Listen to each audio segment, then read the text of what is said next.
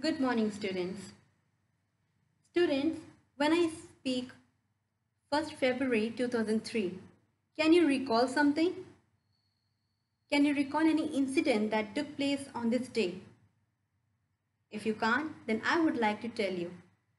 On 1st February 2003, an incident took place that is marked as a black day in the Indian national history. And on this day, United States Space Shuttle Columbia broke into flames. It just didn't break into flames, but yes, it took away the life of Indian American astronaut Kalpana Chawla and along with her, six more astronauts were set on fire. On this day, Kalpana Chawla along with her colleagues left this world. Kalpana Chawla and six other astronauts were there in the space shuttle. Columbia had lifted off on January 16, 2003 from the Kennedy Space Center, Florida and stayed there for 16 days. And after that, it not only stayed there for 16 days, but Kalpana Chawla along with her colleagues conducted 80 excellent experiments in the space. An Indian girl born on July 1st, 1961 and died on February 1st, 2003. Kalpana Chawla is an inspiration for millions of girls. She was born in a very small place, but still her dreams took her to the highest levels of life. Kalpana Chawla was an American astronaut. She was an engineer too. She was the first Indian woman to go to space.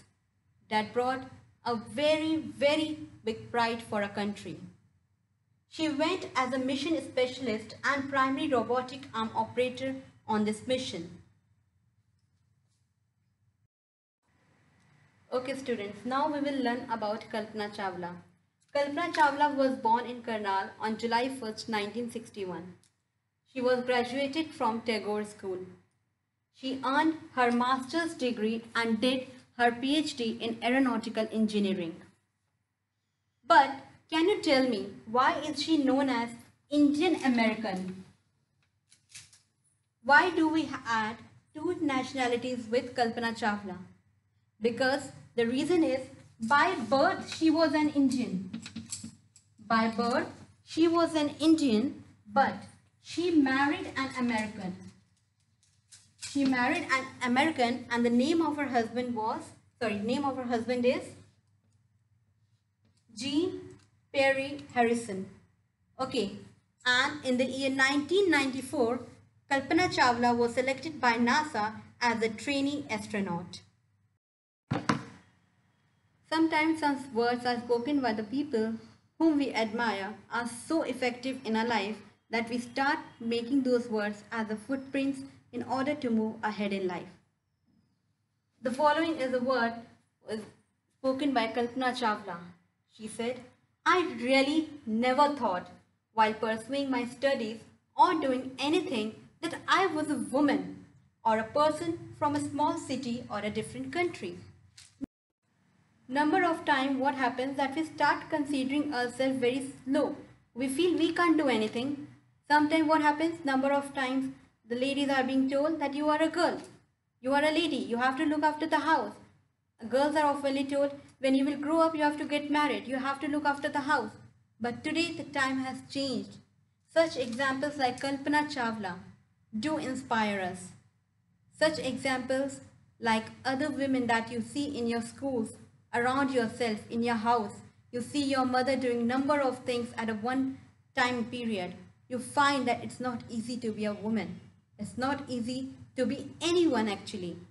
Whether you talk about male or female, what is required is your enthusiasm, your confidence that you can do and you can achieve anything in life.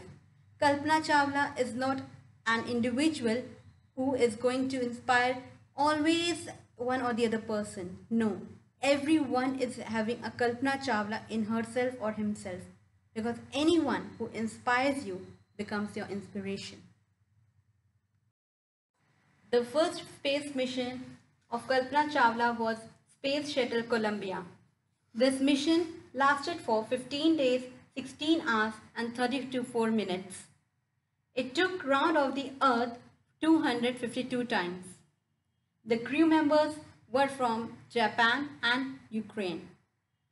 And the experiments that were being performed by this crew on the space mission was regarding pollinating plants in order to absorb the food growth on the in, in the space and to make strong metals and at the last to make faster computer chips.